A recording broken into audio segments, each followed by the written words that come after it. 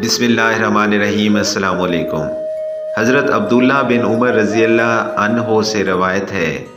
रसूलुल्लाह सल्लल्लाहु अलैहि वसल्लम ने इरशाद फरमाया, तीन शख्स ऐसे हैं जिन पर अल्लाह ताला ने जन्नत हराम फरमा दी है।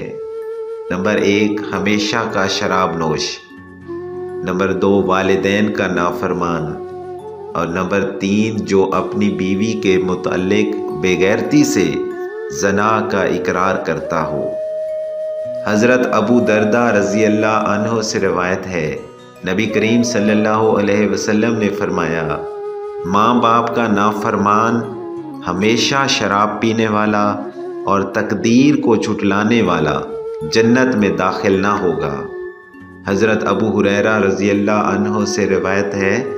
फरमाते हैं, रसूलुल्लाह सल्लल्लाहु अलैहि वसल्लम ने फरमाया जन्नत की खुशबू पाँच सौ साल की मसाफत से सूंघी जाएगी। नेकी करके जीतने वाला बाप का नाफरमान जन्नत की खुशबू नहीं पाएगा। रसूलुल्लाह सल्लल्लाहु अलैहि वसल्लम ने फरमाया, माँ बाप के नाफरमान और इबलीस के दरमियान जहन्नम में सिर्फ़ एक दर्जे का फ़र्क होगा।